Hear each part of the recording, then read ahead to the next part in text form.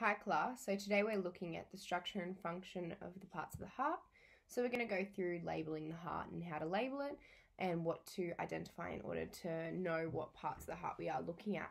So watch the video and at the end we're going to go through a few activities together in order to make sure that your understanding um, is fully developed before we come into the assessments.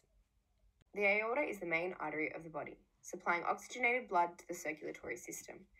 It is most easily identified as being the largest artery in the body and begins at the top of the left ventricle. The pulmonary artery carries deoxygenated blood to the lungs. It is easily identified as the arteries form a shape of a capital T.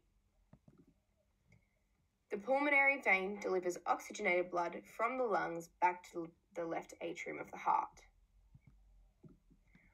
The vena cava is made up of the two large vessels, the superior and the inferior vena cava, and it is responsible for the transport of almost all deoxygenated blood from the abdomen and lower extremities back to the right side of the heart for oxygenation.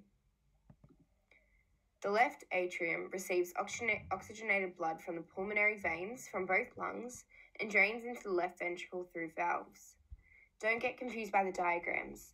When the heart is shown in a diagram, the left side of the heart appears on the right hand side of the diagram. So think, it's always going to be labelled the opposite way. The right atrium receives deoxygenated blood from the vena cava and passes this blood through to the right ventricle, which is seen below. The left ventricle receives oxygenated blood from the left atrium and pumps the blood from the lungs to the body.